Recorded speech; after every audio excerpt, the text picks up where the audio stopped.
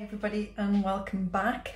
Today's video is a one that I get asked for all of the time and it is a what I eat in a day.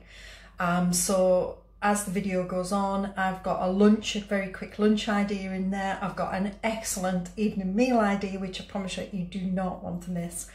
Um, so it, this is basically a what I eat in a day and uh, I hope you enjoy it. The breakfast one for me is a little bit funny, as you will see as you get into it. And to be quite honest, I have not had my breakfast at all. It's just one of those things when you take painkillers, you either want breakfast or you don't. And there is absolutely nothing wrong with not having breakfast. You know, consuming calories for the sake of it just isn't you know you don't have to do that. So you know you can have like a piece of fruit or if you don't fancy it or a banana or something like that. But consuming calories just for the sake of it for me is a big big no-no. So i try to listen to my appetite and as i say this morning it was just a complete write-off. So we just didn't go there. Um, but anyway i hope you enjoy the videos coming up. And if you like this kind of thing don't forget to subscribe to my channel give it the thumbs up and set your notifications because I'm going to move my Sunday loading time. I'm going to bring it forward. So enjoy the videos following. Morning everybody. Um, this is the start of my morning. It is half four, something like half four, 20 to five, something like that. So breakfast, okay. This is where we are. I have to take this painkiller first and then these about an hour or so later. The problem is when I get up at this time of morning, I don't really want to eat anything. So it's a choice of which one of these I can get down me without sort of feeling sick before taking that. And that is every morning because this time of the morning I just don't really want to face food and sometimes I feel sick off the night before when I've took my last painkiller yeah, so mornings are a little bit of a challenge, but either way, one of these have got to be eaten. This is like half of my Healthy Extra B, and obviously that's just free food. So one of those is going to be like a pre-breakfast, and then sometimes I have breakfast and other times I don't. It just depends how I feel.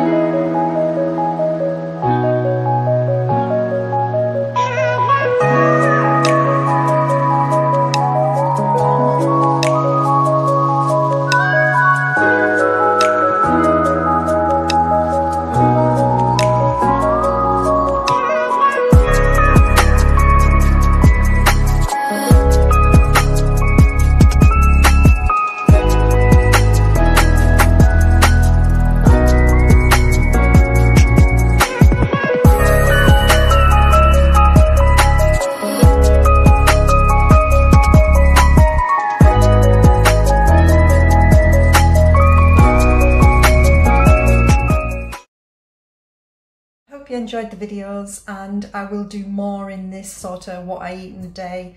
Um, I will also drop my website details in the description below and there there is lots of lunch ideas and evening meal ideas and slow cooker things and things like that if you're looking for a little bit of inspiration.